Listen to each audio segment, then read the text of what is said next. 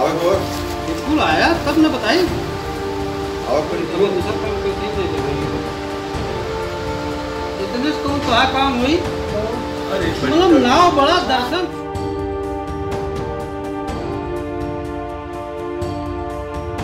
छोड़। एकदम इतना से कुछ काम ना हुई बता दे। आपने वो कहावत तो सुनी ही होगी कि ना खाता, ना बही, जो लेखपाल बोले वही सही। जी हाँ वीडियो देखकर आप समझ ही गए होंगे कि हम बात किसकी कर रहे हैं। दरअसल ये है लेखपाल साहब। और मामला है यूपी के आजमगढ़ के पलहना का, जहाँ लालगंज तहसील के लेखपाल का रिश्वत लेते हुए एक वीडियो जमकर वायरल हो रहा है। सरकार भले ही बड़े बड़े मंचों से जनता की भलाई के लिए कितने ही दावे करती हो, लेकिन लालगंज तहसील के कृपा निधान गुप्ता जैसे लेखपाल इसे पलीता लगाने में कोई कसर नहीं छोड़ रहे हैं। दरअसल यहाँ एक प्रार्थी प्रधानमंत्री आवास योजना के अंतर्गत अपना मकान बनवाने के लिए लेखपाल को नाम देने पहुँचा। लेकिन यहाँ लेखपाल ने तो सीधे सीधे पैसों की मांग कर डाली, जिसके बाद मजबूर व्यक्ति के हाथों जो बन पड़ा उसने जेब से निकाल कर दे दिया। लेकिन मक्कारी का काम करते करते इनकी चमड़ी इतनी मोटी हो चुकी है कि जेब में पैसा डालते हुए भी लेखपाल कहता है कि इतने से कुछ काम ना होई शाम को आना। जरा आप भी सुनिए एक बार। है तो बिल्कुल आया तब न बताई। दूसरा काम करते ही नहीं इतने तो काम हुई। मतलब नाव बड़ा दर्शन छोड़। एकदम इतना से कुछ काम ना हुई बता देते। फिर विधान से आवा कायदे से। आवाज़ शाम की आवाज़। हाँ। शाम की आवाज़ तो नंबर बता दी और यही बस फाइनल कर दिया।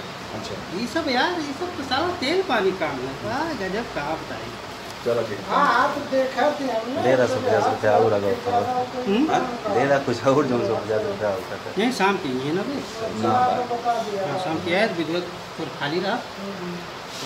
आया तो वो नंबर बता दे भाई ये फाइनल कर दिया चलो ठीक। तो भाई जब जो चीज़ बीड़ा उठाया है तो उसका पूरा करिए।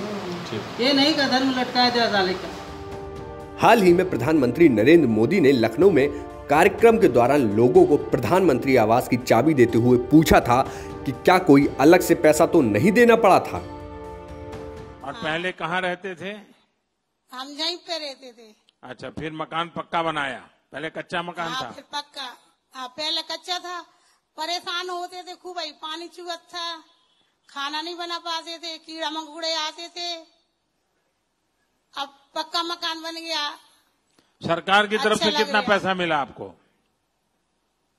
ढाई लाख मिला सर। अच्छा सीधा सीधा आपके बैंक के खाते में आ गया था। हाँ। किसी को बीच में कुछ देना नहीं पड़ा ना? नहीं जी सर। पक्का? पक्का। वाह। तुम्हारी फाइलों में गाँव का मौसम गुलाबी है मगर ये आंकड़े झूठे हैं ये दावा किताबी है। ये पंक्तियाँ हैं कवि अदम गोंडवी की, जो इस घटना पर सटीकता से बैठती हैं।